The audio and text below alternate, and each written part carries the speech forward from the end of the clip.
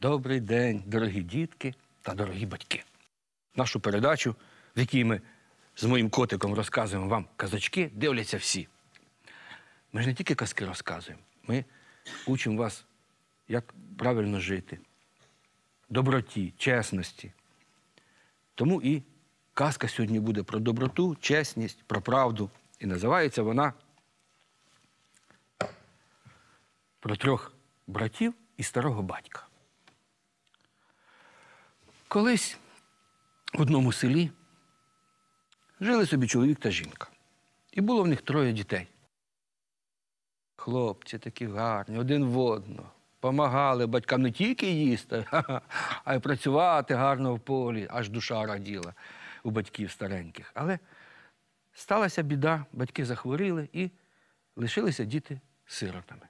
Ну, поки там щось в хаті було, якесь пшоно, сюди-туди, то вони собі кашу варили, а потім зібралися за столом та й думають, що ж ми будемо без батьків, ми ще й до розуму не дійшли, як далі жити. Давайте підемо по світі і знайдемо когось, щоб хтось нас правди навчив, життю, до розуму нас доправив. Ну, на тому і вирішили. Зібралися якісь там клуночки та й ідуть собі. Від села до села мандрують, від міста до міста. І якось ідуть через великий темний ліс. А назустріч старенький дідусь з білою бородою, сивий, одягнений в білу одежу, босенький, з паличкою йде. Вони чемні дітки, привіталися. Здрастуйте, дідусю. Здрастуйте, діточки. От чи не натомилися, сідайте коло нас, по, пообідаємо, дістали, що в них було. Ну, дідусь з торбинки дістав хліб там, сало. Поїли, розговорилися. Куди ви, дітки, йдете? Та йдемо це по світі, шукаємо, щоб де знайшовся добрий чоловік та став нам за батька, за вихователя, на розум нас направив, життю навчив. А він і каже: знаєте що, дітки? А давайте я вам за батька буду. Я собі сам по світі мандрую, всьому вас навчу, допоможу, в люди виведу. Погодилися, прийняли його за батька, а він за своїх дітей прийомних. До речі, дітки, щоб ви знали, я так з казки вийду. Е, дуже в Україні поширено було, що сироти не лишалися бездомними, без родини. Завжди знаходилися якісь люди, чи родичі, чи просто сторонні люди, які брали до себе в родину. Я от е, читав документи моєї сім'ї. У мене був такий дядя Женя, вже його немає, але він збирав всякі записи, що в родині було. І мене вразив один запис, е, що лишилося двоє дітей сиріт, хлопчик і дівчинка. І їх взяв до себе їх четвероюрідний дядько. Це зараз, наприклад, взагалі родичем не вважається, а то якийсь там, я не знаю хто, з іншого села, взяв до себе. А в нього свій, свій син, своя дитина була. І головне не в цьому. Вони в нього росли, і коли він переписував своє добро в спадщину, то він розділив на три частини. Кожній дитині вділив. І свої рідні, і оцим чужим. От ставлення до дітей було в Україні у всі віки таке немає чужих дітей. Всі діти це наші діти. Тож продовжуємо казку. Став він їм за батька. Ідуть по світу, де він їм їх всьому навчає, розуму, як по правді жити, як чесним бути. Так літа йдуть. І одного разу переходять вони через село. А там, Боже, така хата багата стоїть, розмальована, розцяцькована, коло церкви, а коло хати порається дівчина. І така красива, ну, як, як місяць ясний.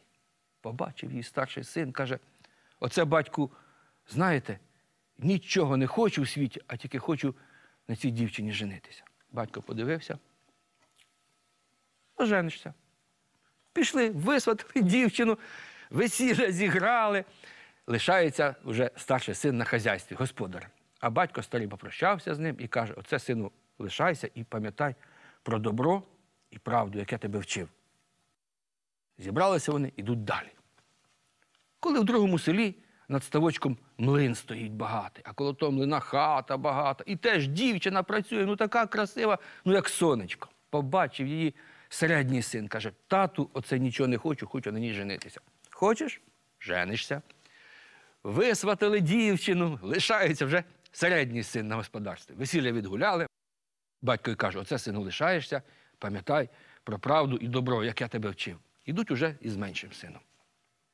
Коли в одному селі з краю села хатка стоїть, бідна така, але вся квітами засаджена, така чистенька, добра, а коло хати дівчина. Боже, ну така гарна, як, як зіронька. Побачив він найменший син і каже: оце тату, нічого не хочу, хочу на ній женитися. Добре, каже батько, женишся. Висватали цю дівчину, лишається вже менший хлопець на господарстві. Батько каже: ну, сину, я вже йду в світи, а ти лишайся і пам'ятай, що я тебе вчив з добром не розминатися і правду знати. Минув час. Вирішив батько подивитися, як його діти живуть. І перетворився на старого діда, жебрака, обірвана такого, що його пізнати ніхто не може. Та приходить до старшого сина. А той забагатів, Боже, волів, має наймитів, такого багатства повно, білі булки з медом їсть. Коли це під хвіртку старий жебрак приходить, постукав.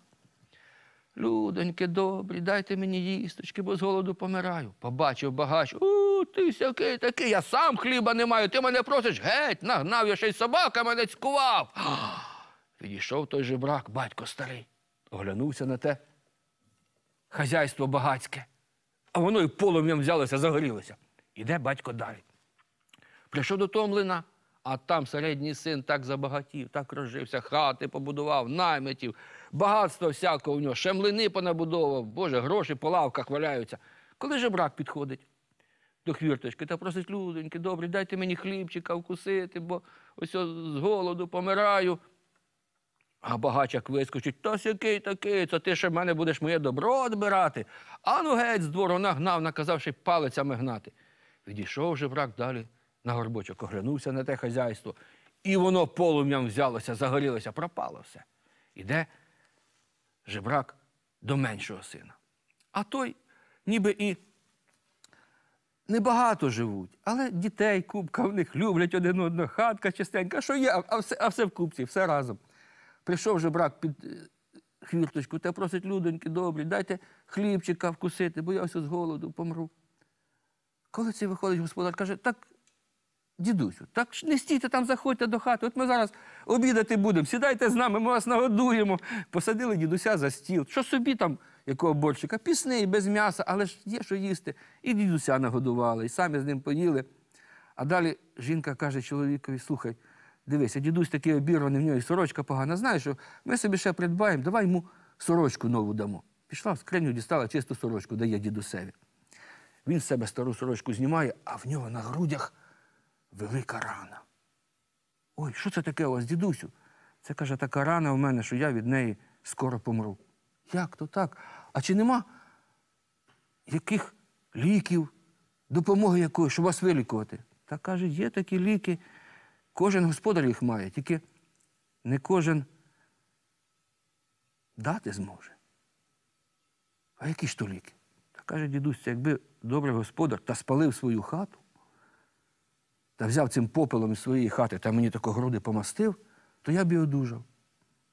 Е, подивився чоловік на жінку, а жінка на чоловіка. Що ти, чоловіче, думаєш? Та те, що і ти, жінко, думаю. Як хату ми собі ще побудуємо, пристараємося, а як добра людина помре, то це ж біда буде. Винос жінко дітей з хати. Винесли дітей з хати, підпалили хату, щоб того попелу набрати. Згоріла хата, все добро згоріло. Взяли того попелу, до дідуся повертаються, а замість дідуся батько його стоїть в білому тарані. Каже, оце єдиний син ти з родиною своєю, з правдою, з добром не розминувся, як я тебе вчив. Обертається хлопець, а в нього замість тої хати та такі багаті палаци стоять, та багатства, та добра всякого. Ото всім так буде, як будете добрими людьми, не жалітимете. Як один одному допомагати будемо, то ніякий ворог нас не переможе. Вам казочка, а нам з котиком бублички в'язочка. Напишіть, як мого котика звати. А пишіть мені на адресу. Місто Київ, 04119, вулиця Мельникова, 42, казки Лютника Сашка. Це для мене. Дякую до побачення.